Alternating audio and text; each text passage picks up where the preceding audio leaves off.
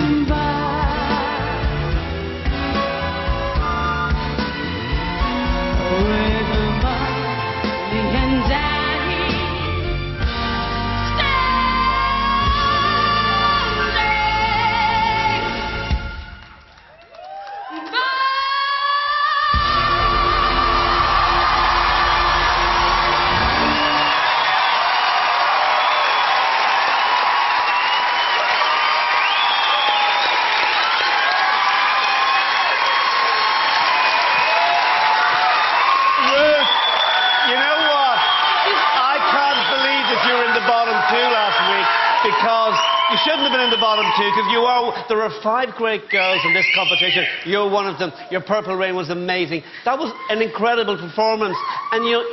I wasn't crazy about the choreography, but I love you. You deserve to be in the competition. And please sing in English. Don't listen to Simon. Ruth, you look absolutely divine tonight. You look really authentic and you sang fantastically. Purple Rain absolutely blew me away and you've just proved that you are one of the strongest singers in this competition. Thank you so much.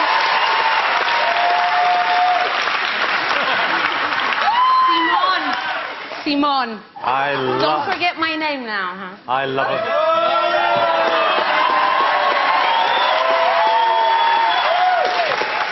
I love a feisty girl. uh, Ruth, um, I thought it was your best performance so far. You know, I like the fact that you just, you know, completely forgot what I said. It would have been absolutely inappropriate to sing that song in, in your own language. I thought the, actually the choreography was incredible. Um, and I thought you interpreted the song really well. Was it as good as the Leona version? No. But you did your own stamp on it. But I thought you did terrific. Well done. Simon, uh, do you like the outfit? The outfit's for you. Well, I wouldn't wear it, but I like it. yeah. I think it's.